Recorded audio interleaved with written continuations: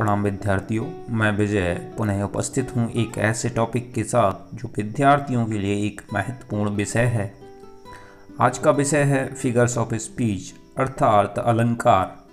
तो चलिए प्रारंभ करते हैं और सबसे पहले जानते हैं फिगर्स ऑफ़ स्पीच होता क्या है और इसका प्रयोग हम क्यों करते हैं। अलंकार किसी भाषा को सुंदर बनाने के लिए प्रयुक्त किया जाता है। जिस प्रकार आभूषण से नारी का सौंदर्य बढ़ जाता है, उसी प्रकार अलंकार किसी भाषा या कविता की शोभा बढ़ाते हैं।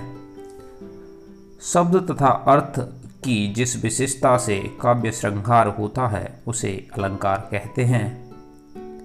इंटरमीडिएट के स्तर की बात की जाए तो इसके अंतर्गत सात अलंकार आते हैं जो कि हैं simile metaphor personification, apostrophe, oxymoron, hyperbole, onomatopoeia.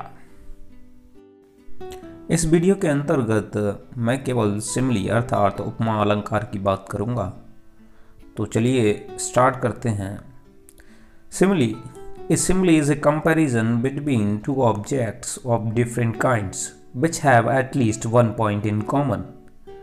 The words as like or so are used for comparison. अर्थात उपमा दो भिन्न भिन्न वस्तुओं के बीच की तुलना है, जिनमें कम से कम एक गुण समान हो। तुलना के लिए एज लाइक और सो शब्दों का प्रयोग किया जाता है। यदि बात करें सिमली शब्द की उत्पत्ति की तो यह लैटिन भाषा के सिमलिस वर्ड से लिया गया है, जिसका अर्थ होता है सिमिलर या लाइक अर्थात समान। चलिए कुछ उदाहरण देखते हैं। He is as clever as a fox अर्थात वह एक लोमड़ी के समान चालाक है। यहाँ दो डिफरेंट ऑब्जेक्ट्स की तुलना की गई है, एक वह और दूसरी लोमड़ी। दूसरा उदाहरण देखते हैं। The world is like a stage संसार एक मंच के तरह है। यहाँ पे संसार और मंच की तुलना की गई है।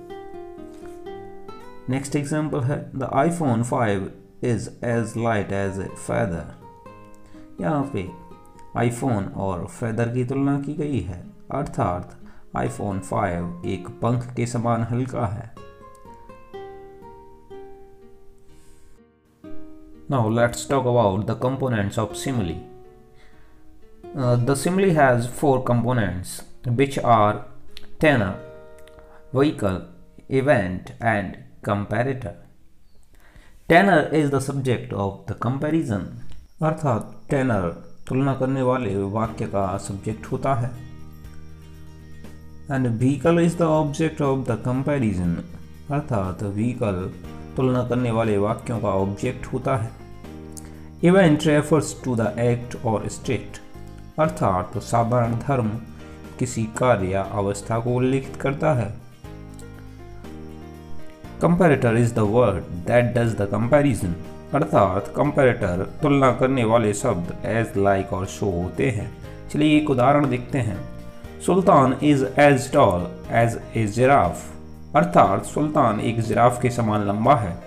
इस उदाहरण में सुल्तान की तुलना एक जिराफ से की गई है। जहाँ सुल्तान एक टेनर है, जो तुलना का सब्जेक्ट है, तथा जिराफ एक व्हीकल है, जो तुलना का ऑब्जेक्ट है। तथा टॉल एक इवेंट है, जो कि एक अवस्था है और एज एज कंपैरेटर है, जो तुलना करने वाले शब्द हैं। इस अलंकार को हिंदी व्याकरण की परिभाषा की सहायता से समझने की कोशिश करते हैं। सिमली का हिंदी रूपांतर होता है उपमा, जिसका अर्थ होता है तुलना जब किन्हीं दो वस्तुओं के गुण, आकृति या स्वभाव आदि में समानता दिखाई जाए। या दो भिन्न भिन्न वस्तुओं की तुलना की जाए, तब वहाँ उपमा अलंकार होता है। उदाहरण देखिए मुख चंद्रमा सा सुंदर, कर कमल सा कोमल, सागर सा गंभीर हृदय हो, गरी सा ऊँचा हो जिसका मन। पहले उदाहरण में मुख की तुलना चंद्रमा से, तथा दूसरे उदाहरण में कर अर्थात हाथों की तुलना कमल से, तथा तीसरे उदाहरण में हृदय की तुलना सागर से, तथा मन की तुलना पर्वत से की गई है। उपमा अलंकार के चार अंग होते हैं। उपमेय जिसे टेन कहा जाता है, उपमान, जो व्हीकल होता है, साधारण धर्म, अर्थात इवेंट और कंपेरेटर वाचक। चलिए एक उदाहरण देखते हैं। सागर सा गंभीर हृदय हो, यहाँ हृदय की तुलना सागर से की गई है, अर्थात हृदय उपमेय तथा सागर उपमान है। और गंभीर शब्द साधारण धर्म, और सावाचक शब्द है, जो तुलना के लिए प्रयुक्त हुआ है। If this video seems too useful to you, please like and share. And don't forget to subscribe to my channel. Thank you.